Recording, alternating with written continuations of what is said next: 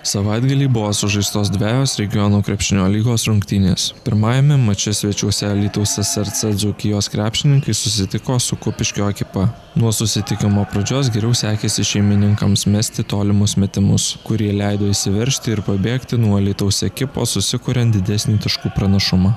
21-13.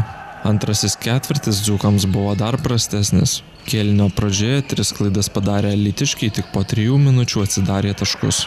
Po ilgosios pertraukos grįžę litiškiai aikštelę parodė visai kitokį krepšinį, žaisdami taškas į tašką su Kupiškio ekipa.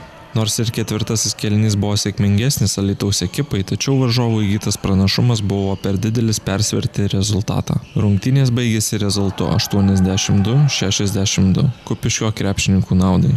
Alitaus ekipoje geriausiai pasirodė Simonas Jeremičius pelnęs 18, Eimantas Vojavodskas 14, Dainius Levas 10 taškų. Antrajame mače taip pat išvyko į Alitaus SRC krepšininkai, stojo kovai prieš Kaišėdorių savingės ekipą. Pirmasis kelnys buvo palankesnis šeimininkams, kurie po pirmojo kelnio susikrovė 8 taškų pranašumą. Tačiau dzūkai per antrąjį ir trečiąjį kelnį parodė charakterį vijosi varžovus. Po trijų kelnių varžovai iš Kaišėdorių turėjo trapų vieno taško pranašumą.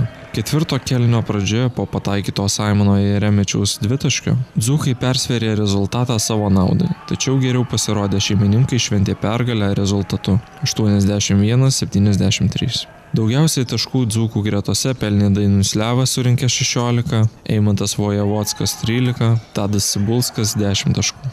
Edgaras Nenartavičius, Dzūkijos televizija.